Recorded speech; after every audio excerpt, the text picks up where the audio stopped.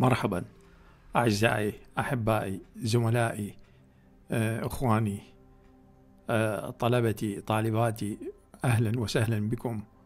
وأستمر معكم في سلسلة المحاضرات تركيب المباني Building Construction والتي أعتبرها مهمة جدا في ثقافة المهندس المعماري وتنويره في النظم الإنشائية وكيفية تصرف العناصر البنائية والاستفادة منها في الحياة الدراسية وفي الحياة العملية بإذن الله.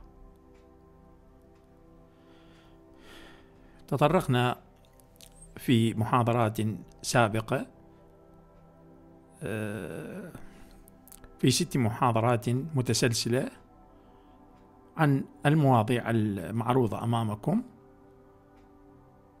والتي تطرقنا إليها كثيرا في محاضراتنا السابقة أرجو منكم مراجعتها والاستماع إليها والتعرف على ما تم طرحه فيها من معلومات مهمة لكي تعينكم في فهم واستيعاب المحاضرات اللاحقة. في المحاضرة السابقة الأخيرة رقم سبعة الجزء الأول منها تطرقنا إلى السلوك الإنشائي Structural Behavior للأبنية والنظام الإنشائي والعناصر البنائية. وتطرقنا إلى تعريف Structural Behavior ومن ثم Structure and Forces النظام الإنشائي والقوى المؤثرة على هذا النظام.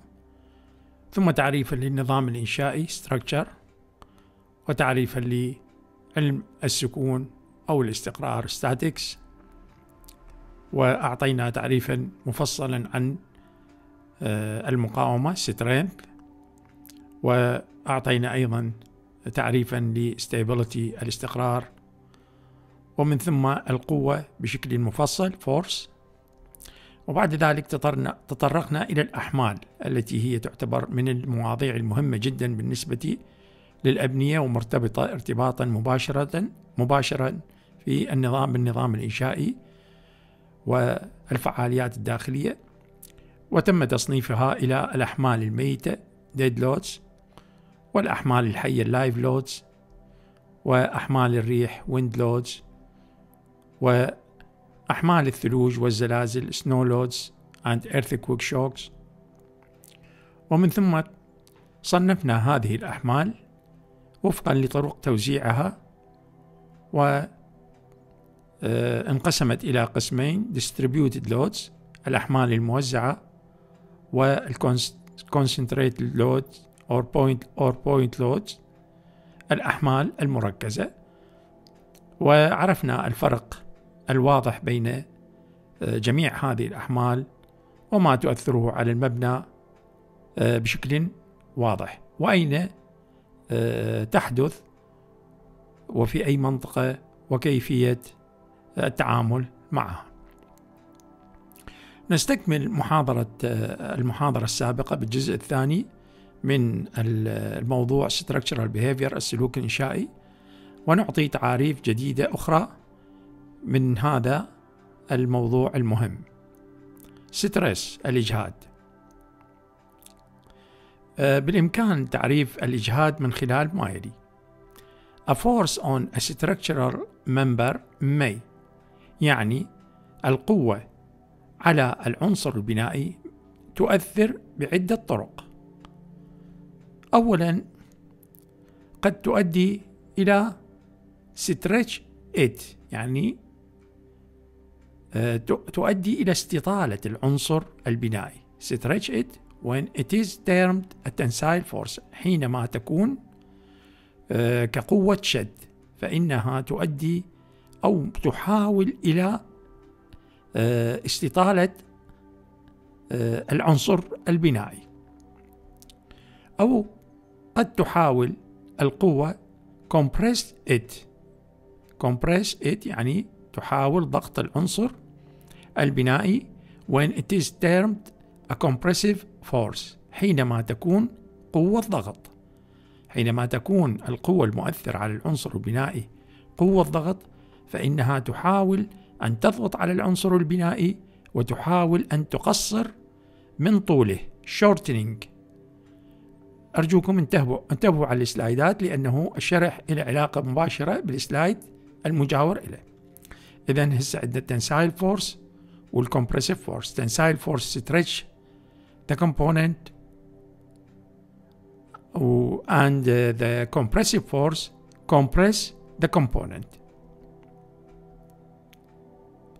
وقد تحاول هذه القوة.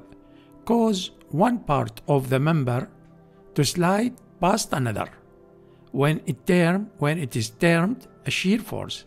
وحينما تكون القوة قوة قصية تحاول أن تقطع العنصر البنائي إلى جزئين وتزحيفه باتجاه معاكس للجزء الآخر. أي الزحف تحاول أن هذه القوة القصية كأنما تقطع بالسكين وتحاول دفعه باتجاه يعاكس اتجاه الجزء الآخر لهذا العنصر. وتسمى هذه ال shear force.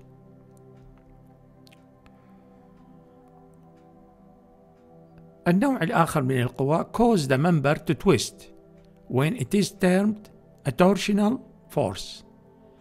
يعني القوة تحاول فتل العنصر البنائي فتل أو التواء الواء العنصر البنائي twist it حينما تكون هذه القوة نوع القوة قوة فتل torsional force torsional force.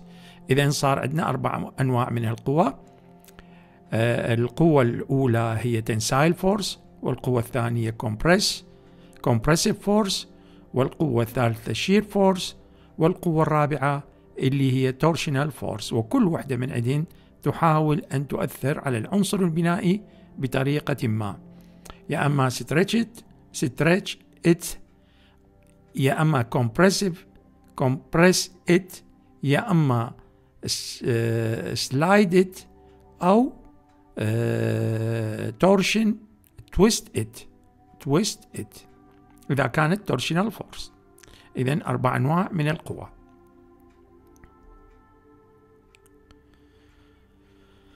The effect of these various types of force is to put the material of structure member into a state of stress. يعني تأثير هذه الأنواع الأربعة من القوى على العنصر البنائي ستؤثر بالتالي حتما على المادة البنائية المشكلة للعنصر البنائي. كيف ستؤثر عليها؟ ستجعلها في حالة من الإجهاد اللي هي هذا موضوعنا الإجهاد. تضع المادة البنائية المشكلة للعنصر البنائي في حالة من الإجهاد. And the material of the member is then said to be يعني يمكن أن نطلق على هذه المادة أنها في حالة من الشد intention أو compression في حالة من الضغط أو في حالة shear or torsion في حالة تكون المادة في حالة من الإجهاد يا أما تكون إجهاد شد أو إجهاد ضغط أو إجهاد قص أو إجهاد آه، فتل. إذا نلاحظ القوة وشون تأثر على العنصر البنائي وبنفس الوقت تأثر على المادة البنائية التي تكون في حالة من الإجهاد وفقا لطبيعة القوى المؤثرة.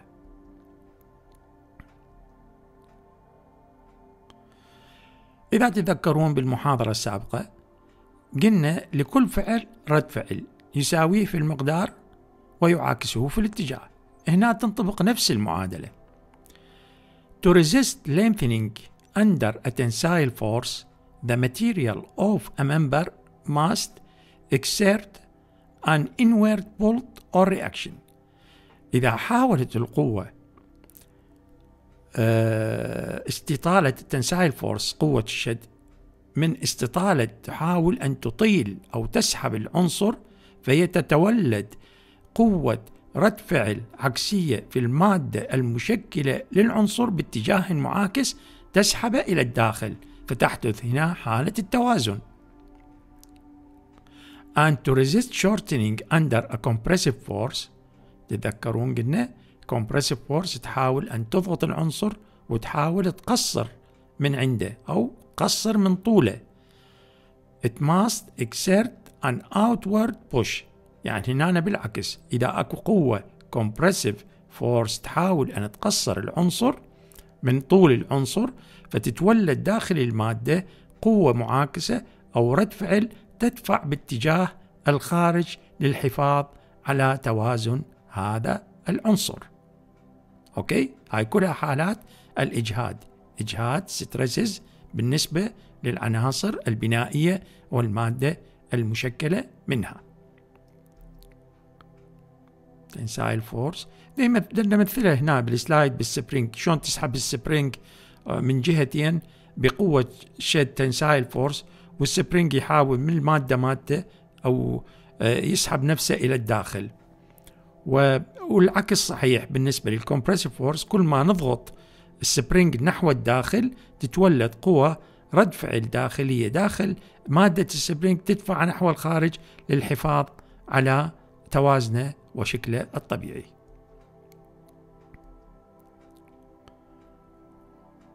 When the stresses are caused by axial loads, stretching or compressing a member in the direction of the load, they are termed direct stress. هذه يعني في التعريف إذا كانت الإجهادات تتولد من خلال أحمال محورية سحب أو ضغط فإن سحب أو ضغط هذا العنصر باتجاه هذه الأحمال فإنها يطلق عليها الإجهادات المباشرة. عندما تكون الإجهادات ناجمة عن الأحمال المحورية التي تطيل أو تضغط العنصر البنائي في اتجاه التحميل. هذه المهمة هنا. باتجاه تحميل العنصر فإنها تسمى اتجاهات أو إجهادات مباشرة. Direct stresses intensity of stress شدة الإجهاد. شدة الإجهاد لها علاقة بالقوة والمساحة المسلطة يعني القوة والمساحة التي تسلط عليها هذه القوة. The measure of يعني شلون نحسب intensity intensity of stress شدة الإجهاد شلون نحسبها the measure of intensity of loading is expressed as a load or force per unit area. None as the intensity of stress. The measure of intensity of loading is expressed يعني مقياس شدة التحميل كحمل أو قوة لكل وحدة مساحة والمعروفة باسم شدة الإجهاد يمكن حسابها من خلال قسمة حاصل قسمة الحمل المطبق الأحمال الدبليو على مساحة المقطع العرضي للعنصر البنائي. أي يعني بالسلايدين أي وبي نلاحظ هنا أكو مساحة أي اللي هي مساحة 5000 ملم مربع والمساحة الأخرى بي اللي هي 50 ألف ملم مربع. يعني 10 أضعاف المساحة. القوة ثابتة 50 كيلو نيوتن مثل ما نشوفها 50 كيلو نيوتن شدة الإجهاز الإجهاد عفوا. Intensity of stress حاصل قسمة القوة على المساحة بالمليمتر المربع يعني نيوتن القوة بالنيوتن كيلو نيوتن على المليمتر المربع. فحين نسلط قوة 50 كيلو نيوتن على مساحة 5000 تكون شدة الإجهاد 10 آه، نيوتن لكل مليمتر مربع. إذا عرضنا المساحة وزيدناها إلى 10 مرات راح تقل شدة الإجهاد هنا لأن وسعنا المساحة فواجب كل وحدة من هاي الوحدات المساحة راح يكون واجبها تحمل أقل من بقيمة أقل من شدة الإجهاد. يعني كل ما وسعنا المساحة كل ما قلت شدة الإجهاد المسلطة على وحدة المساحة. يعني تخيلوا هذا ال A هو pad foundation أو أساس لعمود والجزء ال B اللي هو raft foundation يعني أساس حصيري. آه، آه، الأساس الحصيري تتوزع عليه القوة على مساحة أكبر.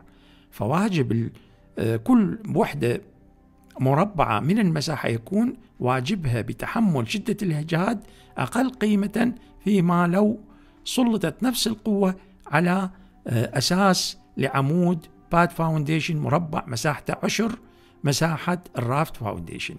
فهنا تجي شدة الإجهاد. أنا أريد أسلطها على عمود وقد يكون هذه الاحتمالات واردة عندي من تكون ما عندي مساحة أسوي raft foundation وأستخدم pad, pad foundation. والأحمال المسلطة عليها هي كثيرة فإذا شدة الإجهاد تكون آه، أكبر مما لو استخدمت نوع آخر من الأسس في حالة توفر المساحة الأكبر. strength strain الانفعال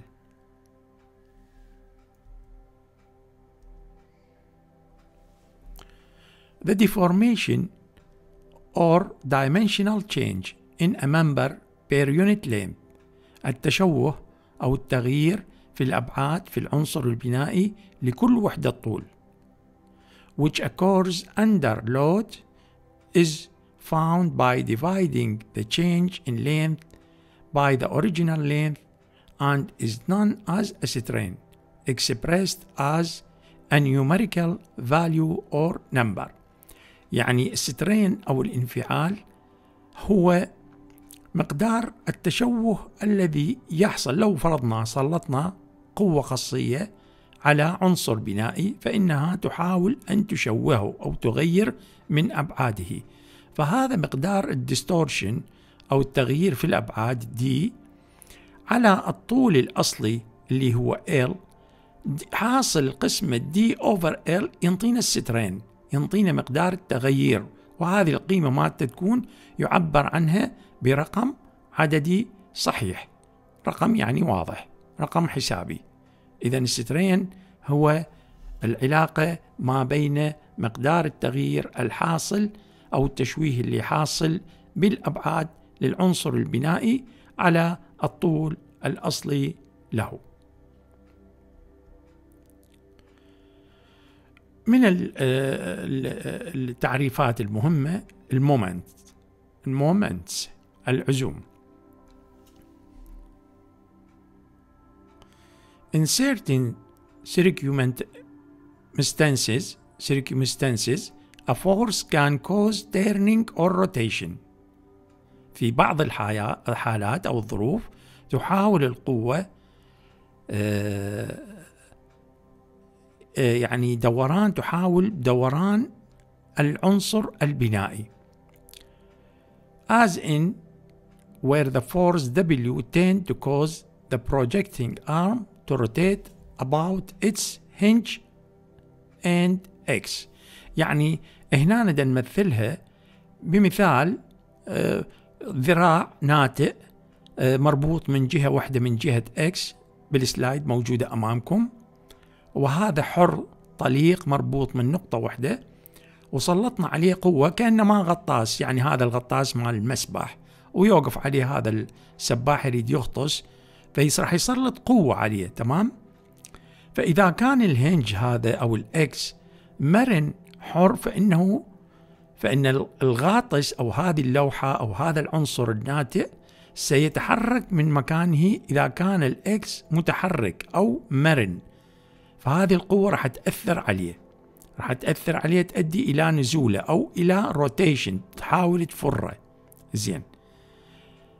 هاي محاولة ال rotation ويا طول ذراع القوة W في L إحنا نسميها العزم عزم الدوران. عزم الدوران أو ال moments أوكي؟ ف إيش وقت يحدث هذا التوازن؟ يعني تخيلوا إنه هذا الغطاس أو السباح وقف على هذا الغاطس أو لوح الغطس و آه، من تأثير وزن الجسم والقوة راح أيضا راح يفتر تمام؟ اذا يراد له إسناد من الأسفل حتى يستقر هذا العنصر. فهذه القوة المعاكسة في طول الذراع مالتها يجب أن تولد عزم مضاد بالاتجاه الآخر يساويه لكي يستقر العنصر البنائي في مكانه. واضحة الفكرة؟ هذه حتى تكون عندكم equilibrium when W small letter آه، مضروبة في L capital letter ناقص W capital letter. في L small letter هذه باللون الأخضر يساوي صفر يعني حالة التوازن تحدث عندما يكون عزمين عزم باتجاه عقرب الساعة والعزم الآخر عكس اتجاه عقرب الساعة positive negative واثنينات متساوية حتى يبقى العنصر مستقر بمكانه.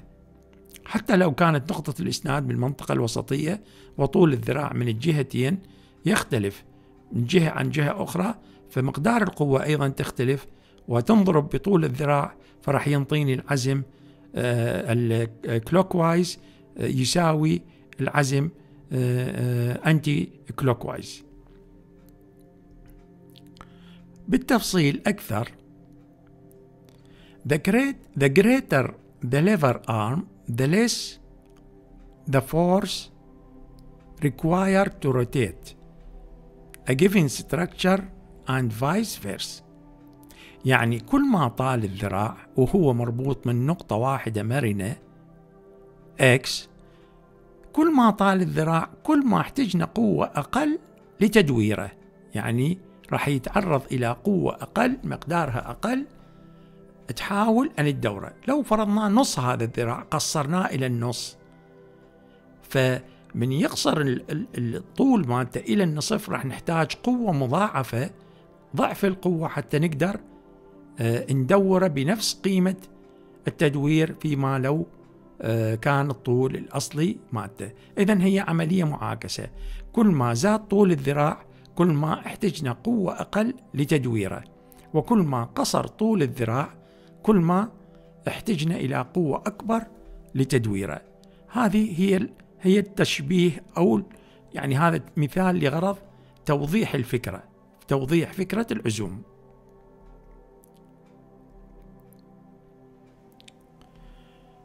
The measure of this effect is given by the product of these two factors يعني القياس قياس هذا التأثير تأثير العزم يجي من عاملين عامل القوة وطول الذراع which is known as the moment of the force above the point expressed in unit of force and distance. يعني قلنا يعبر عنها بالقوة وطول الذراع.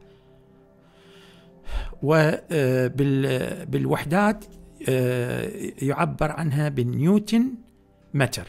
نيوتن متر يعني تنضرب القوة في طول الذراع فينطيني القوة بالنيوتن وطول الذراع بالمتر فينطيني العزم آه، نيوتن متر.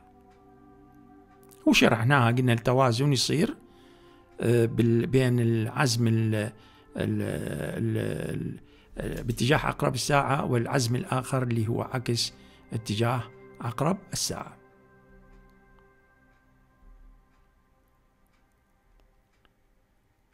نفس الفكرة هنا بس نقطة الاستناد هنا تختلف. صارت بدل من, من أن تكون بالطرف راح تكون بمنطقة خلينا نقول بالثلث. فنحتاج طول الذراع ال والدبليو مساوية إلى حاصل ضرب الدبليو ال بالجهة الأخرى يعني العزم آه، اليمين يساوي آه، العزم اليسار ولكن يعاكسه بالاتجاه لكي نحصل على حالة التوازن. Equilibrium not rotation يعني ما يصير بدوران is obtained when the clockwise plus moments يعني العزوم باتجاه عقرب الساعة of some forces acting on a member يعني الناجمة عن القوة المؤثرة على عنصر ما are balanced by the anti-clockwise negative moments of the other. يعني مساوية إلى العزوم المعاكسة لها عكس عكس اتجاه عقرب الساعة. كي نحصل على حالة التوازن.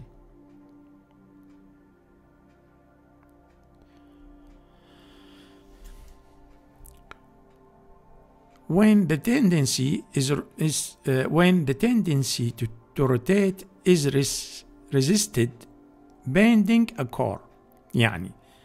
عندما يكون المفصل آه ليس مرنا وإنما ثابتا غير قابل للحركة. آه هنا نشبهها بال نسميها فردة الباب أو باب الباب الاعتيادية.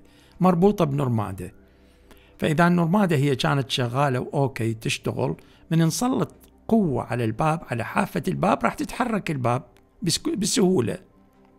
تمام؟ في حال أنه هذه النرمادة كانت آه، آه، عاطلة عن العمل ومتروكة فترة طويلة وماكلها الصدى وما تتحرك فالقوة اللي تحاول نفتح بها الباب أو ندفعها ما تندفع الباب فتؤدي إلى آه، انحنائها. لأنه ما فيها مرونة حركة فالمادة المشكلة للباب بغض النظر كانت خشب أو فولاذ أو شيء حسب تصرف المادة. بس لما أكو مقاومة من الهنج أو المفصل فإنها فإن القوة ستؤدي إلى انحناء هذه آه، الباب.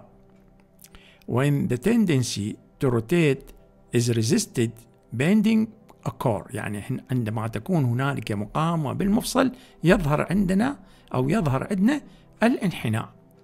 This can be illustrated by a door on its hinge. هذه مثل ما شرحت لكم إياها. يمكن توضيحها من خلال باب و النرمادات مالته المفاصل مالته. If the hinge function properly إذا كانت المفاصل تعمل بشكل صحيح pressure on a door causes it to rotate and the door remains in straight plane يعني إذا كانت المفاصل مال الباب شغالة أو أوكي فإن القوة المؤثرة تحاول أن تفر الباب تفتحها للباب وتبقى شكلها مستقيم ولكن if however the hinges are corroded rotation will not occur and under pressure the door will tend to bend إذا كانت هذه المفاصل صدئة أو غير شغالة فإن القوة تحاول أن تحني الباب وتؤثر على شكلها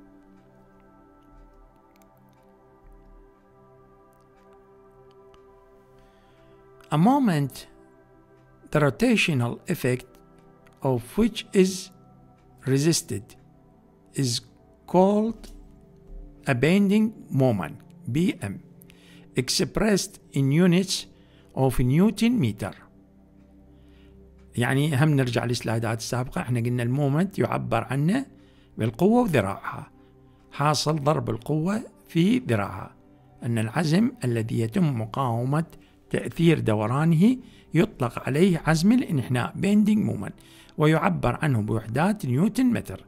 يعني نيوتن اللي هي تمثل وحدة القوة والمتر طول الذراع. ال bending مومنت.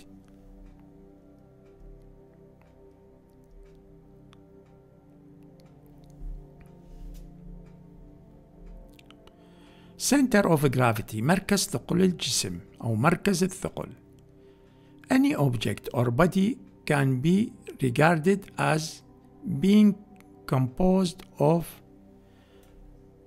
particles all acting downwards due to the force of gravity يعني كل object يعني كل شيء أو كل جسم يتألف من مجموعة من الجزيئات الصغيرة وهذه الجزيئات الصغيرة وزنها يميل بالاتجاه نحو الأسفل بسبب فعل الجاذبية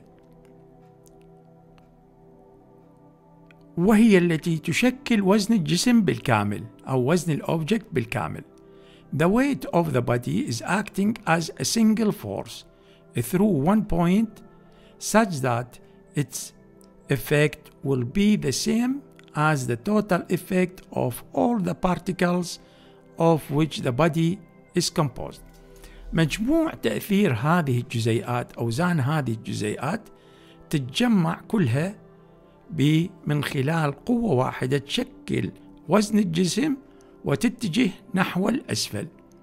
The point is known as the center of gravity of the body يعني النقطة اللي تتجمع بها أوزان جميع هذه الجزيئات المشكلة لهذا الجسم وخط نزوله من خلال هذه النقطة هذه النقطة هي تسمى مركز ثقل الجسم. تمام؟ أي جسم من الأجسام؟ حتى جسم الإنسان. هم يعني شوفوا مركز ثقل الجسم وين هذا يكون؟ من يختل مركز ثقل الجسم راح يتردنح الإنسان راح يترنح بحركته. إذا لكل شكل مو شرط أنه يكون مكعب آه، منتظم الأبعاد أي جسم من الأجسام إلى حجارة أو آه، كتلة خرسانية أو صخرة. هذه بشكلها هذه مجموعة من الجزيئات تتألف آه، أوزانها وتتجمع في نقطة واحدة تنجذب من خلال الجاذبية نحو الأسفل. يسمى هذا هو مركز ثقل الجسم أو center of gravity.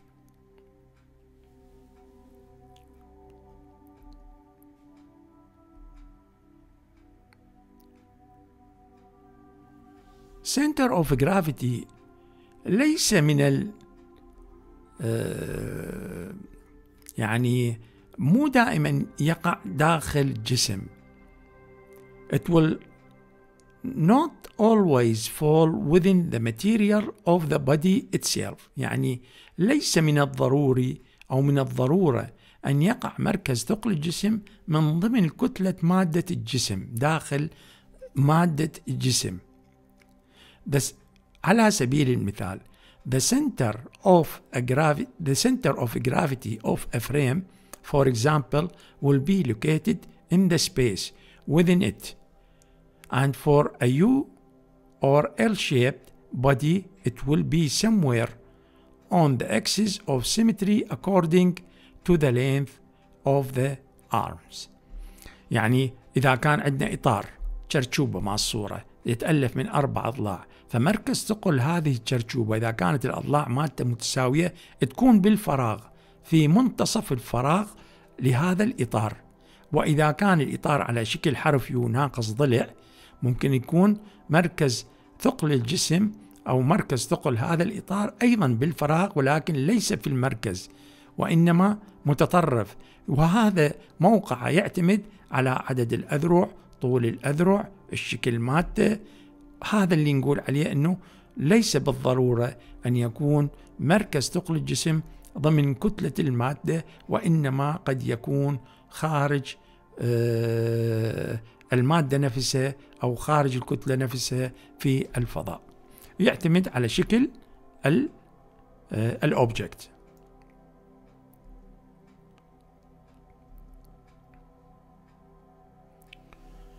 آه، عندنا تسمية لغ إلى مركز ثقل الجسم نسميها ال centroid ال centroid منين اجتي؟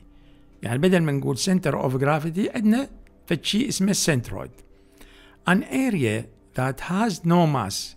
يعني إذا عندنا كان مساحة معينة ما بيها كتلة. يعني ما بيها كتلة. Cannot have a center of gravity. ليس لها مركز ثقل. But it may be considered as a very thin plate. يمكن التعامل معها على أساس أنها صفحة أو صفيحة رقيقة جدا. And the same principle نطبق عليها نفس المبادئ as for a solid body would apply. يعني نطبق عليها نفس مبادئ مركز ثقل الجسم ولكن الفرق هنا بدل ما أن تكون عندنا كتلة ضخمة وصلدة راح تكون على هيئة صفيحة رقيقة align through the thickness of the plate normal to its faces and passing through its center of gravity would pierce the faces at points known as the centroid of the area. يعني ال centroid راح يكون في منطقة مركز هذه الصفيحة على هيئة خط وهمي قصير يسمى ال centroid passing through its center of gravity. يعني هذا الخط الوهمي القصير جدا بسبب آه، قلة سمك هذه المادة يسمى ال centroid يعني مع أنه هي هاي القطعة رقيقة هم بها مركز ثقل ولكن لا يسمى هنا مركز ثقل الجسم بسبب آه، رقتها يسمى ال centroid. نكتفي بهذا القدر من التعاريف وإن شاء الله سنكمل في المحاضرة اللاحقة تعاريفا أخرى. وكلما تقدمنا في المحاضرات سندخل بعمق أكثر والتعشيق ما بين العمارة والكونستركشن وسنستخدم جميع هذه المفردات آه، التي تطرقنا إليها في المحاضرات السابقة والتي تليها في موضوع النقاش أو في عرض الأمثلة التي أعرضها عليكم آه، في دروس أخرى في تحليل النظم الإنشائية لبعض الأمثلة العالمية تدخل هذه المفردات ضمن هذا التحليل. فمن الضروري أن تعرفوها وتعلموا بها. ويسعدني دائما ألتقيكم وأستمع إليكم واستفساراتكم وأي معلومات تطلبونها لكي يتم شرحها بشكل تفصيلي وأنا مستعد لكي أعمل معكم محاضرات مباشرة live لغرض آه، تداول النقاش فيما بيننا والإجابة على استفساراتكم في أي موضوع يخص ال building construction أو التصميم المعماري أو الأفكار المعمارية أو أي شيء يخطر على بالكم في مجال العمارة آه، وثقافتها وهمومها. آه، وأخيرا شكرا لحسن إصغائكم. Thank you for your listening. أنا الأستاذ المساعد محمد رضا الشلبي